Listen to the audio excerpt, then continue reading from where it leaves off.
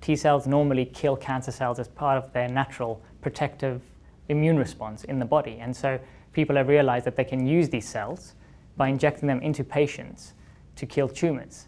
And so what we have developed is a method and a technology of actually generating these types of memory T cells for use in immuno-oncology. We are the only people that can do this currently. We have discovered a new pathway inside these cells that we can modulate to produce memory cells. We have a set of candidate molecules that we have shown to be um, working in vitro and we have also proof of concept data in using in vivo mouse models as well. We have quite a lot of things to do, still do. Optimize and improve our lead candidates further as well as incorporate our current technologies into the existing processes for manufacturing therapeutic T cells.